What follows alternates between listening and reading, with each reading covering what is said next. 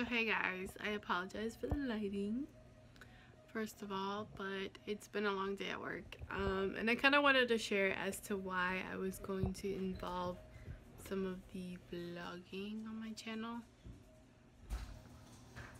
So I know I've mentioned it before, but I'm actually turning 30 this year and as a celebration to getting to my 30s as a young mom, I thought it'd be cool to make a bucket list of the 30 things that I would like to accomplish before 30. So for my vlogs to begin with, I thought it'd be cool to kind of go from the top to the bottom in terms of what I would like to accomplish before I turn 30. I don't know, sometimes I feel thankful to be alive. Um, I was in a really bad accident when I was maybe 20 I'm not sure how I survived that, but again, um, the first one on my list was trying to enjoy Disney Magic Kingdom as an adult.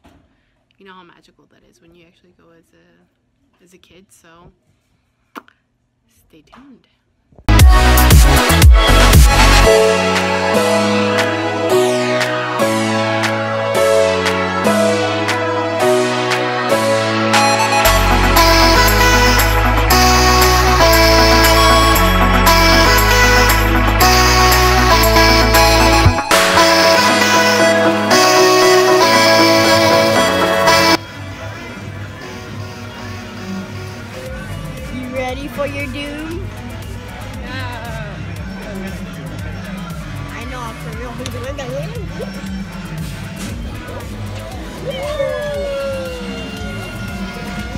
Oh, Jason, come on, man.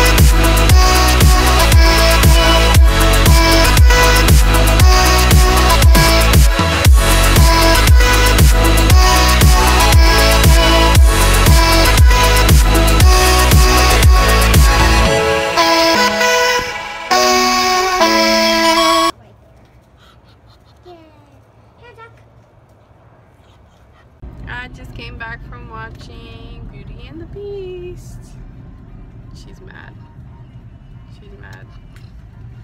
It was so good! And I cried. I'm not gonna lie, I cried. I cried, didn't I cry? I cried. Shut up. if you're a fan of the original, definitely go and see that because that was amazing. Amazing. Even Jason, you liked it? Mm-hmm. Jason! Yeah. You liked it? Yes. What was your favorite part? You don't have a favorite part? The library scene, amaze balls. The That's the Oh, like. the the library was so amazing and then it just got really witty and um oh my god LeFou the guy who does Olaf's voice did LeFou in this movie he was awesome awesome awesome but yeah I teared up because they did it such good justice I was not disappointed definitely worth it even though I was bitching about the prices of movies nowadays definitely worth it Forty dollars just for fucking popcorn and really cool. So yeah, that was my first vlog. I actually, or vlog, I actually wanted to include some clips of what happened later on in the weekend and the next week. Um, just enjoying uh, feeding the ducks is also on my bucket list. Like spending time with my daughter. She is a conversationalist. And um, getting to see Beauty and the Beast. My favorite all-time, well, one of them. The next is gonna be um, Aladdin, but uh, seeing that in the theaters was such a joy. I just like reliving my childhood all over again, and I did cry. Not gonna lie, I did cry. Not ashamed. Not ashamed.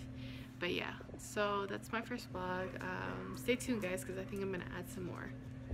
What's that? Who's that? Shoes boy? Shoes boy? Oh, he's a good boy.